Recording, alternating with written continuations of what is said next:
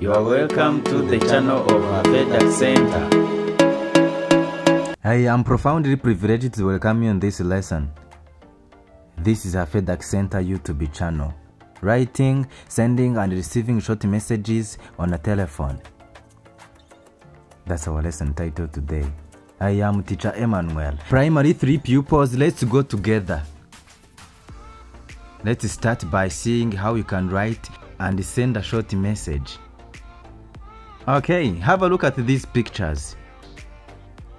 There is picture 1, picture 2, and picture 3. Would you please do what is in pictures 1, 2, and 3? Yes. Among the three pictures, which one shows how to write a short message? Thank you. Picture number 2 shows the program to write short messages. To write short messages using a telephone, you follow these steps. As it is in picture 1, place on the menu button. As it is in picture 2, then press on the short messages icon.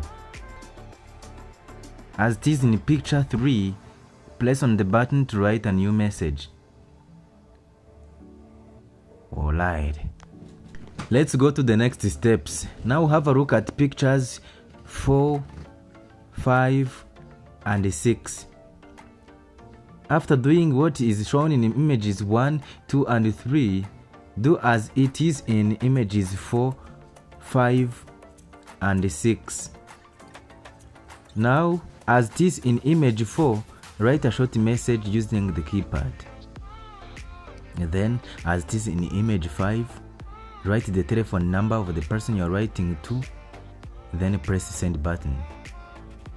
The picture number 6 shows that you have to choose the SIM card.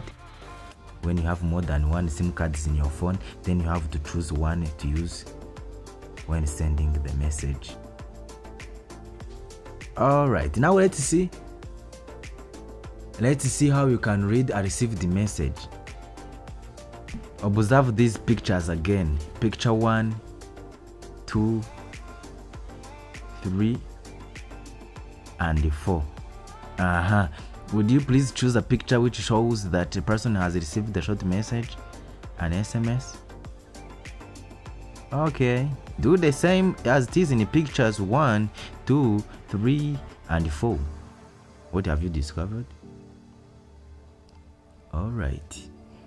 Picture 1 shows that there is a short message, a new one. To read a short message, do the following. Place on the icon for writing short messages, place on a new message, then read the message. Wow. I am very thrilled that you have reached the end of this video. For more information, let's chat via hafedakcenter at gmail.com. Thank you very much.